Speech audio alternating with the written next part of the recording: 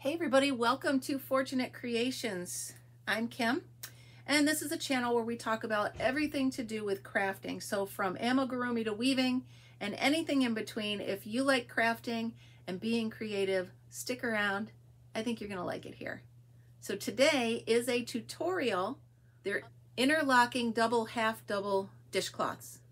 They've got an extra row of scrubby bumpies and they're extra thick. So the yarn I'm using today is yarn that I found at um, a Goodwill store. So you're going to have to probably find a different type of yarn um, because I don't know that um, you're going to be able to find this.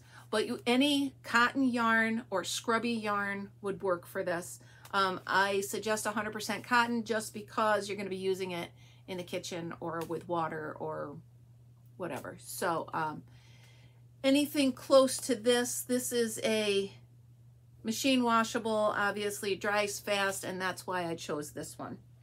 Um, so I have two versions of this the dish scrubby. I have the full size one and the half size one, and both of them are double. So um, I show you how to make this one first and then how to extend it and make this one next. So let's get everything we need. I used a five millimeter crochet hook and I believe this is a four weight. Yeah, it's a four weight. Um, a thick three or a four weight. So yeah, get yourself together or get your stuff together and we will start right now. Okay, so what we're going to do is start with a slip knot. And then for the size I've chosen, we're going to chain 25. Two, three, four, five, six, seven. Not too tight, not too loose, about like that. Eight, nine, ten, eleven, fifteen, sixteen, seventeen. 18, 19, 20, 21, 22, 23, 24, 25. Okay, you got your chain of 25. You're to go ahead and we're just to do a row of single crochet all the way back just to give a nice base row. So we're to go second one from the hook and do a single crochet all the way back. One, First row is always tough. Two, right in there. Three. Depending on the yarn you used, it might be a little tough to see the chains. And also, um, depending on how tight you did it. But we're just going to go ahead and do a chain of, or a row of single crochets all the way back. Okay. And then after that comes the repeat and the fun row. This really is just a one row repeat and it gives you really nice texture in the yarn or in the finished project. So it curls up a little bit. We all know that. That's fine. All right. Now these I've actually been using in my sink since I found this yarn um, and a treasure hunt about, I don't know, maybe a month ago. Um, I made myself a, a three different size set of these dishcloths and I absolutely love them. So I'm thinking I'm making myself another set for my camper. That way I have everything I need wherever I need my dishwashing cloths. So everything in my camper and my kitchen as far as cloths are now handmade and they all hang because I find it's so much easier to know where they are first of all and secondly the the dish cloths and the, little scrubby cloths, when they hang from the faucet, they dry quicker. They dry fresher. It's not like they're going to sit, you know what I mean? Sometimes they sit and get a little sour, so we don't want that.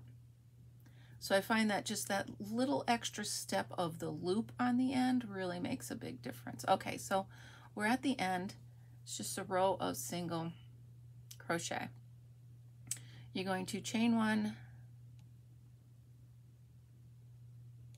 turn your work, and we're ready to go. So this is the repeat of the whole thing.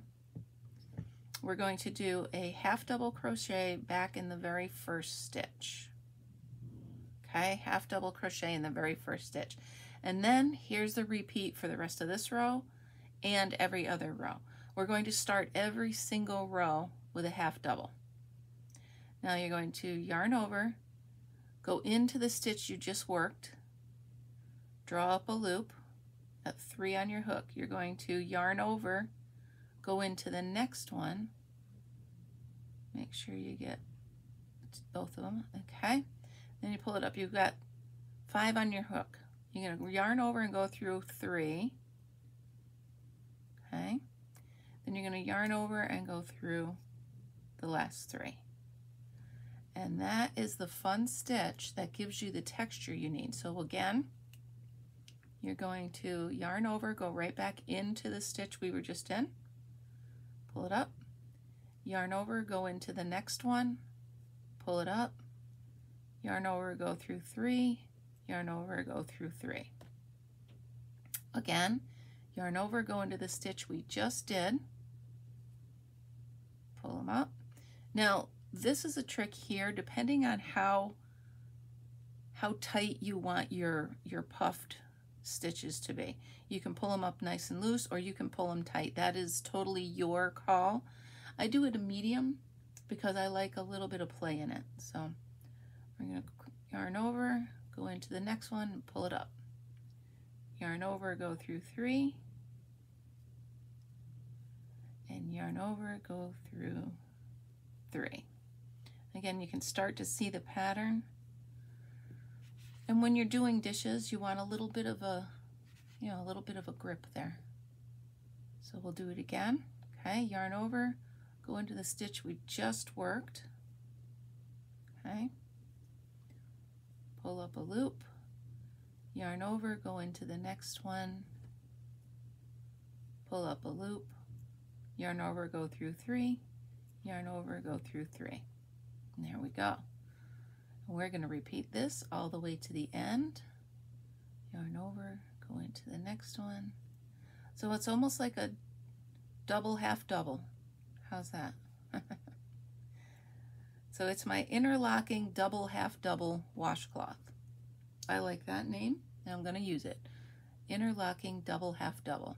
Again, yarn over, same stitch we were just in, pull it up, yarn over, next stitch, pull through all three just like you would for a half double, and then go ahead and pull through the last three for the second half double. And you can really see the texture is starting to, to show. It's really a great dishcloth. Like I said, I've been using it for about a month now since I found that yarn. You can use any other yarn as I explained in the beginning. Um, I don't think this yarn is actually made anymore. Um, so you can still look for Fleischmann's, but I'm not sure that that is still uh, still there. But, you know, we have scrubby yarn and we have, this would work great with regular kitchen cotton is what I call it. You know, the yarn I'm talking about, the stuff that it's a little bit rougher than regular cotton and you can use it perfect for dishcloths and stuff. So now it does get easier to handle as the cloth gets bigger. And I should have one of those little bowls to put that in, but I don't have one with me at the moment. So we'll just chase the yarn around the, de the desk. All right, you're getting there. One more. Through here, through here. Here we go. Another one. another one and another one. We'll yarn over, go through here, back up, go through three, go through three. Here we go, keep going. Don't give up on me yet. Okay, so what we're gonna do is you repeat this row. I'll show you how to end it. And seriously, it's every single row is exactly the same. You're going to start it the same way and end it the same way. And then once you get your cloth the size you want, double it. That's right, double it because I'm making this a double thick cloth. And I'll show you why when I get to the end of this row because I did, when I was first making this, I did a um, single, single um, sided, single panel, let's put it that way. And um, although it works very well, it doesn't feel sturdy enough in my hand that I feel like if I'm really scrubbing with it, it might pull apart. But it, it hasn't. Full disclosure, it has not yet, but it feels like it. And I want something a little more substantial in my hand when I'm, you know, washing dishes or whatever. Um, these are great for those non-stick pans that they say you can just wipe out, which personally I think is gross. You should always wash them, but you know, they show, oh, you don't even need soap and water, just wipe it out. But these are perfect for those because they they don't scratch yet they give you a little bit more muscle behind and you can add soap. so that's why I like it double. All right, we're coming to the end here. And we're actually going to work right to the end. Okay. Right up to the very last single crochet from the row before. Okay. And here we go. So, still working what I got three. I've got two left and then the very end one. So we're going to work this one and the next one normal. Okay. One more time.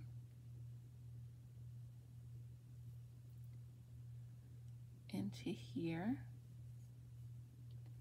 and then three and three. And you're to see we have this little thing on the end. So I'm just going to do a half double at the end. You're want to make it a little loose. Let me redo that one.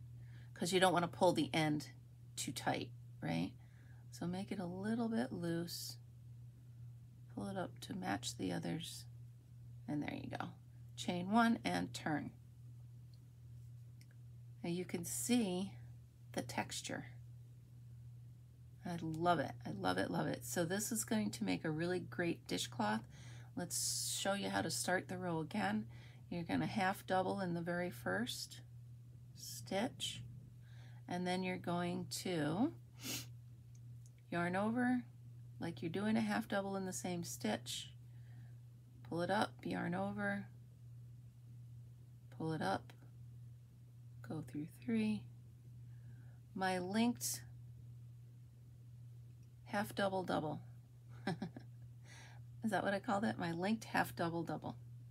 And we're going to go through the whole thing. Now you keep doing this, like I said, until you get it to the point where it is the length you want okay?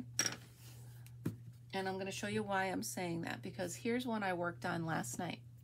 And we are going to put the bumpies around the edge, but see how thin it is. It will work, but if you fold it over, that's why we're doing the double. It just feels better in your hand. Again, there's my loop. But so this is the single version of it, and you can very well do that if you want to. Okay. And you're just going to keep going until it's the size you want and then come back and I'll show you the edging on the outside or get it so it's this size twice and then we'll fold it over. I will come back and I will show you what I mean when I get to that point. Okay, so I've decided we're gonna do two different parts to this video. So the first one, you know when you're doing dishes and you have you have those little scrubby pads. They're made out of steel wool. They got the soap in them. They're good for one use.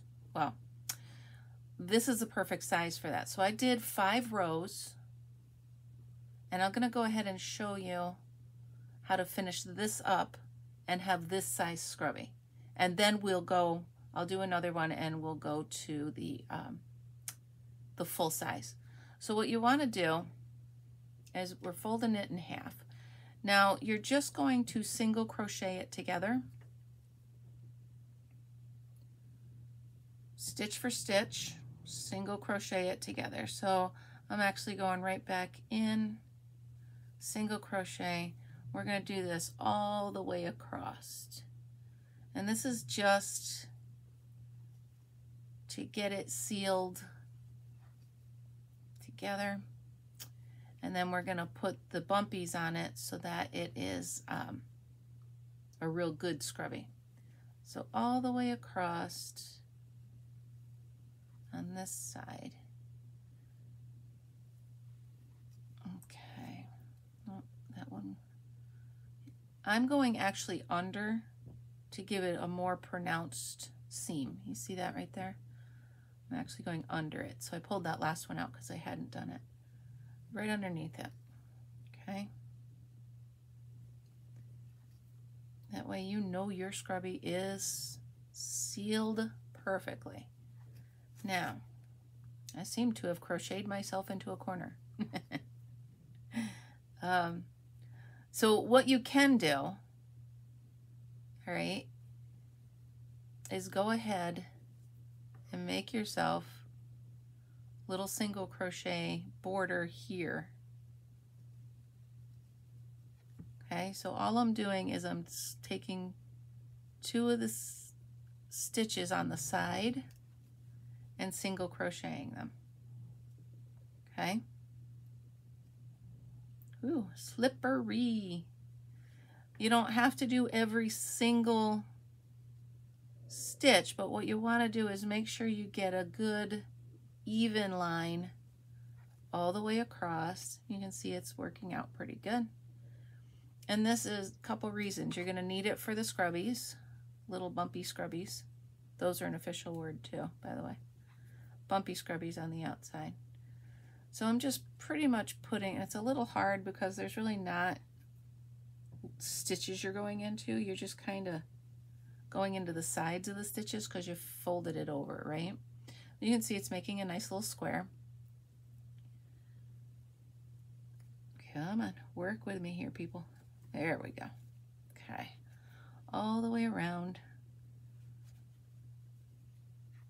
When you get to the corner. Now in the corner, just to keep going. Okay. All the way around.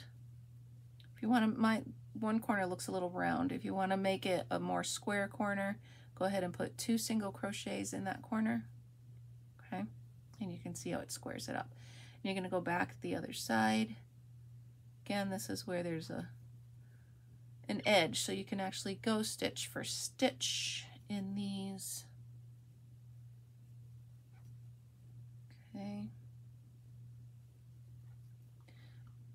Now, I'm just going to take that tail and tuck it inside because I'm going to make my own handle on the side over there that's rounded. And this is also another chance to make a choice. You can sew three out of four sides and leave one. Um, leave one so that you can slide your hand inside or you can um, put soap up in there. Okay, so here, here's the option. I'll tell you before you make your decision though, I have one that's made like this. And I always just use it like this. so I'm going to go ahead and seal the whole thing up because um, I don't use it as a little glove.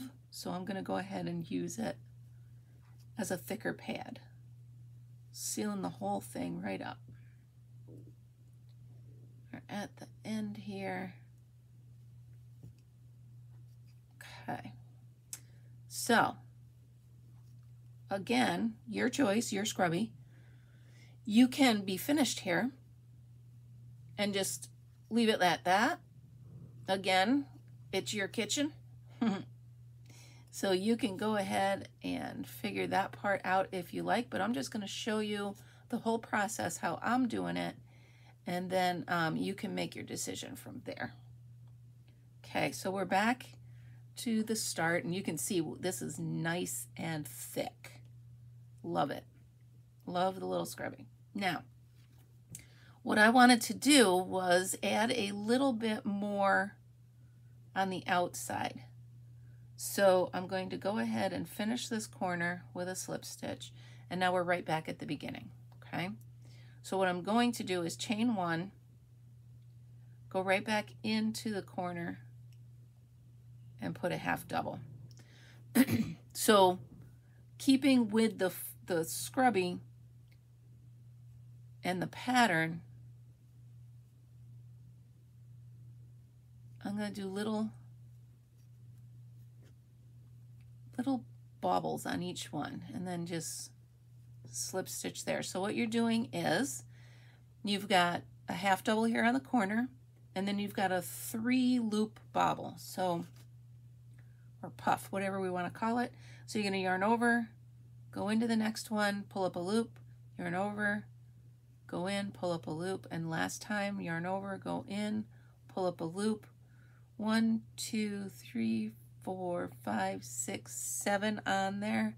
Yarn over, go through all seven. And then in the next stitch, you're to slip stitch to seal it in.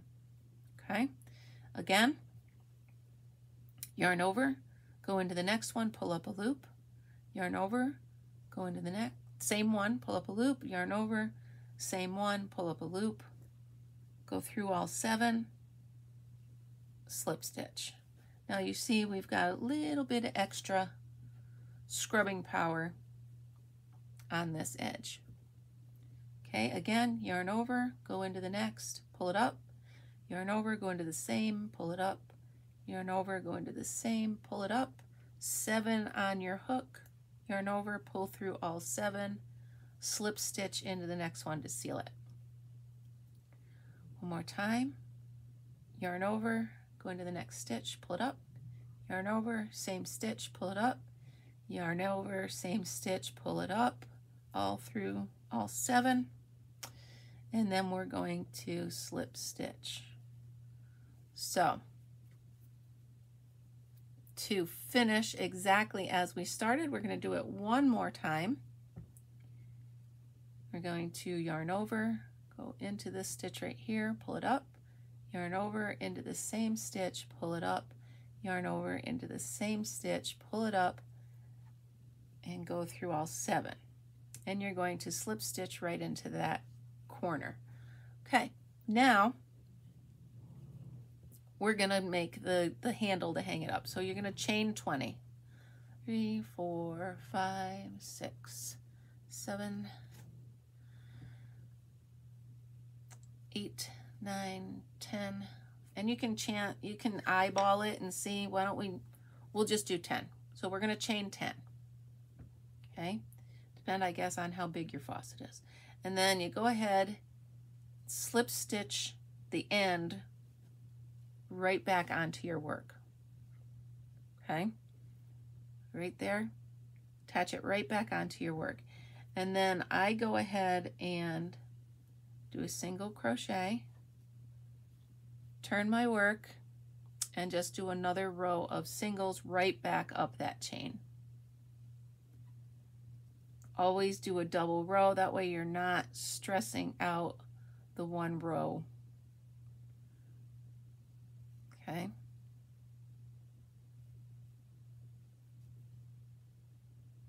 single all the way back around.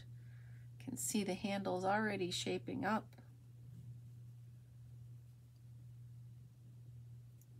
One for one stitches in here.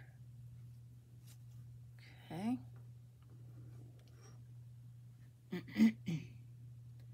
back in here. We're getting there.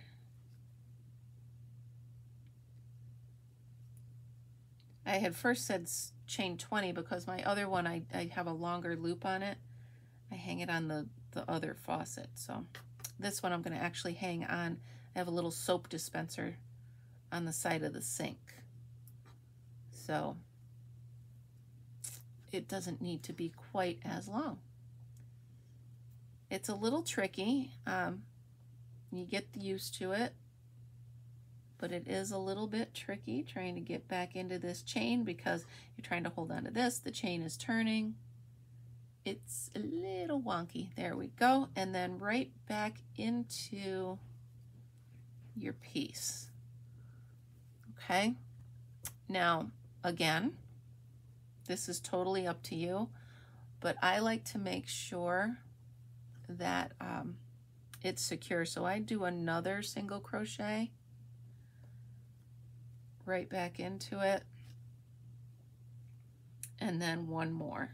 So you're actually, you link it and then do two crochets to get back over to where it started. Two single crochets back to where it started. And that is where you're finished. You can snip that off. Get your handy dandy, which one do I want? Your handy dandy sew it in needle. Hide it right down through here. However you like to hide it, that is no, no rhyme nor reason to that. As long as we're tucking it in. And I go back through this way. Ha ha, this way. Okay. Pull it back through here. Snip it off. And there is the miniature interlocking double, half double little scrubby dishcloth. And I will show you at the end what the double-sided big size looks like. Stay tuned for that. Okay, so I got it twice the size of the little one. And what we're going to do is pretty much exactly what we did with the little one. We're going to fold it in half.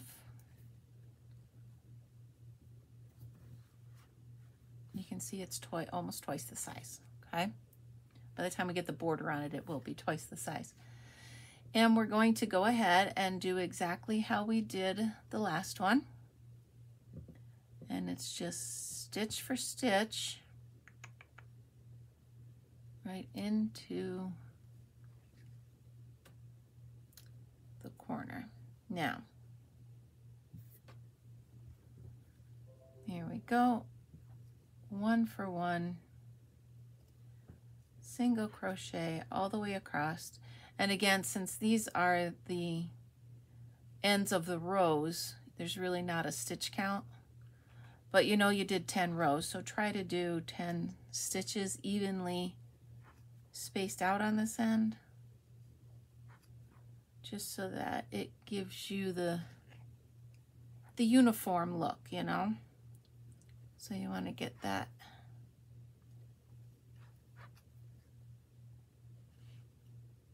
It's funny how the yarn squeaks. you get this all sealed. Like I said, I like to go down this side and even the folded side so that, um, you know, I have four distinct sides on the scrubby. And again, I'm going to tuck this tail right inside and hide it in there. One less tail to sew in. I don't know why sewing tails in annoys me so much, but it does so I'm all about hiding them when I can. Okay, so remember at the corners. If you don't mind round corners, just go ahead and go around. If you want them a little square, Then go right into the corner. Okay. And put two single crochets right in the same stitch. And then here we are back to this side. One for one. Remember, however you want to do the border is up to you. I'm doing a single crochet all the way around all four sides.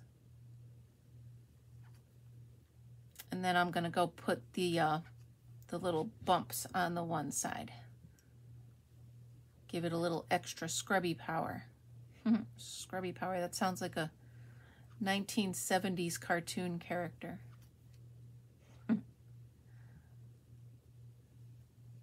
scrubby power.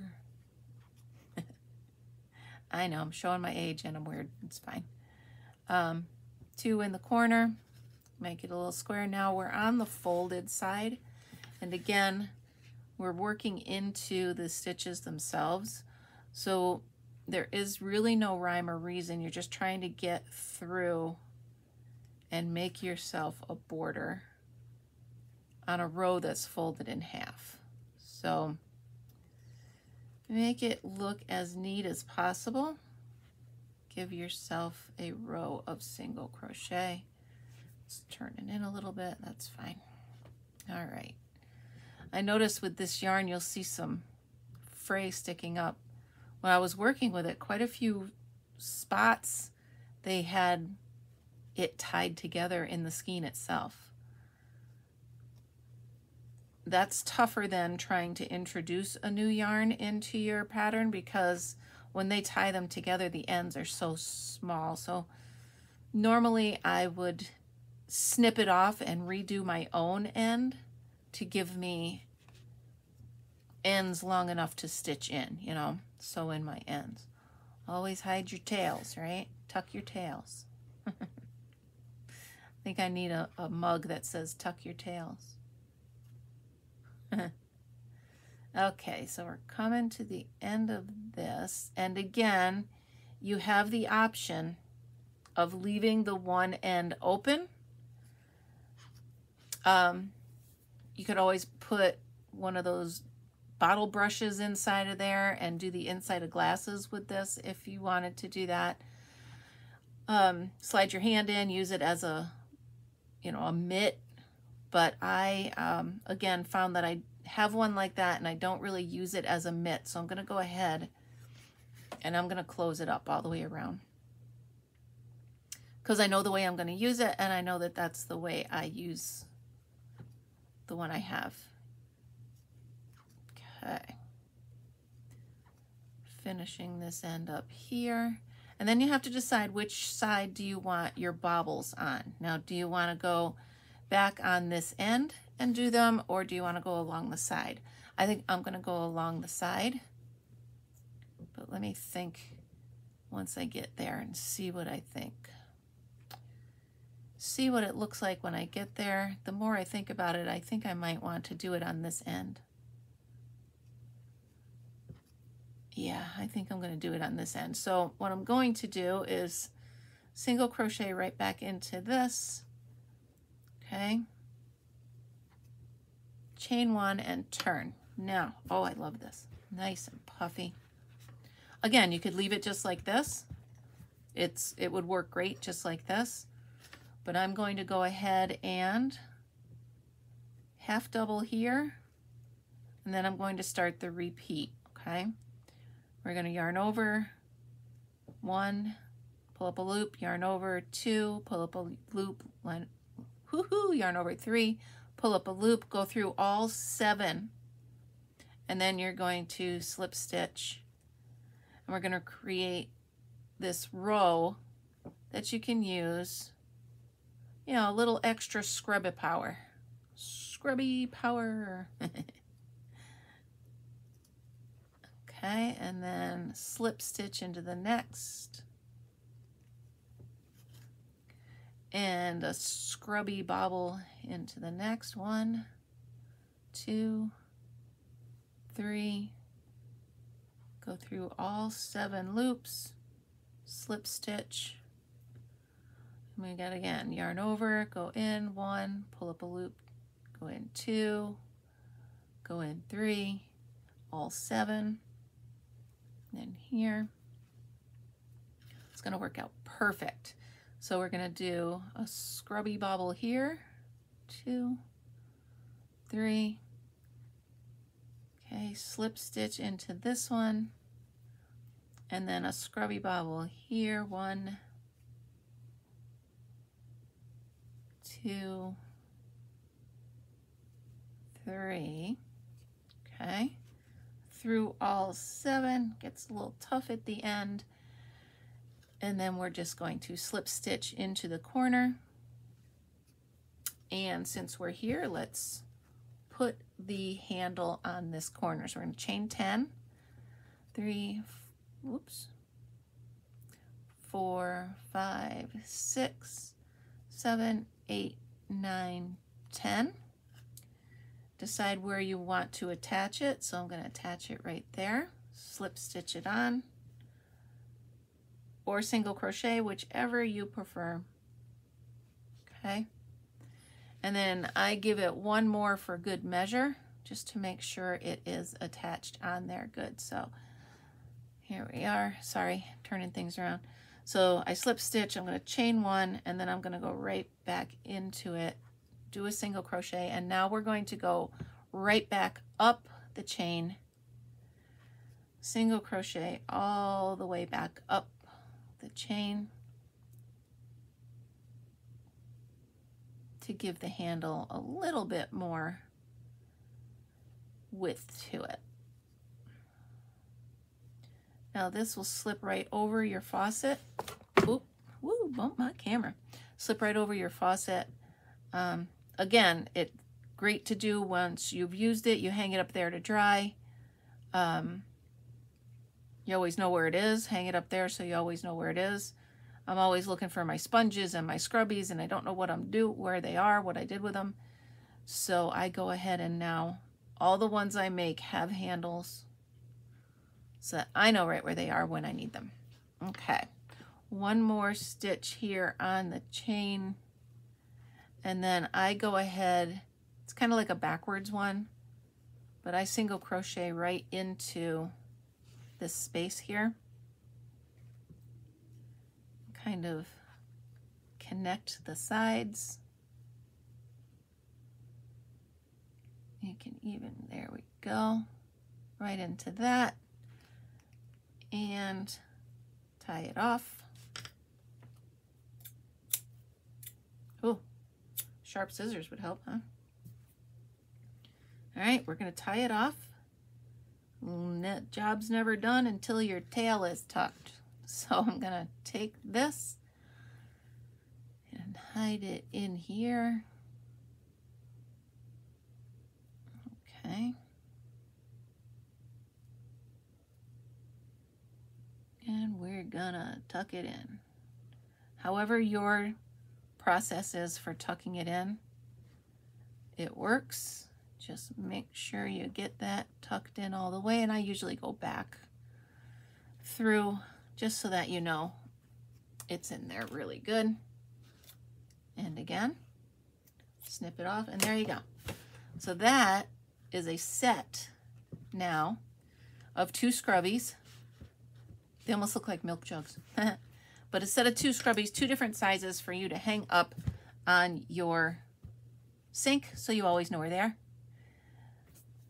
All right, so that was super simple, right? Took just under an hour, and now we have two very functional items we can put in our kitchen.